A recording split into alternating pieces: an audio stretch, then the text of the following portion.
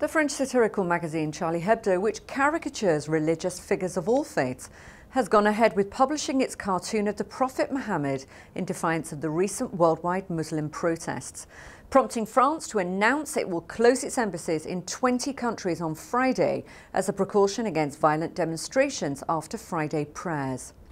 In light of these protests, French Muslim leaders called for calm after a meeting with the Interior Minister Manuel Valls over the publication of the pictures.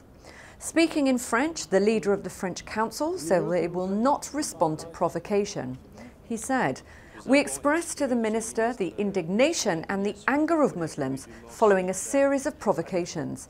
We have also told the minister of our quiet and serene spirit they will not respond to provocation. They won't give in to provocation. Mr. Valls then took the opportunity to explain that freedom of speech is a fundamental freedom. And he said, freedom of speech is a fundamental freedom and the freedom to caricature is part of that fundamental right. That can shock some people, that is the case.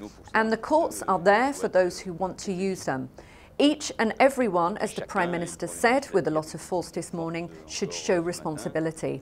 Every individual act, everything that is written, every drawing, every statement can exacerbate, can provoke confrontations, so everyone is responsible.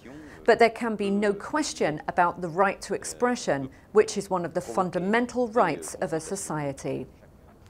Authorities are keen to avoid a repeat of minor protests that happened last Saturday against a film critical of Islam that led to the arrest of dozens of people in the area surrounding the Interior Ministry, which is near to the US Embassy. I'm Anne Salter, thanks for watching. Stay tuned for the very latest updates on this story with me at ibtimes.co.uk.